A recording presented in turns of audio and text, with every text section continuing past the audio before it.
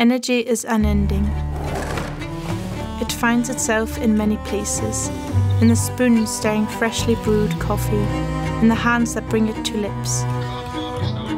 There are times where this energy may run low, but it's always buzzing, settling into the idleness of a field, swaying the grass underneath fingertips, or propelling sunlight through an open window onto the grateful cat.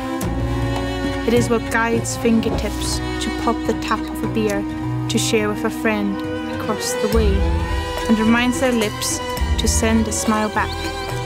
Energy is unending. It is what lets us play, soar towards the sky, or simply lets us watch clouds roll by. It fills ourselves to the very brink, reminds us that there is bliss in every frequency. Energy is unending.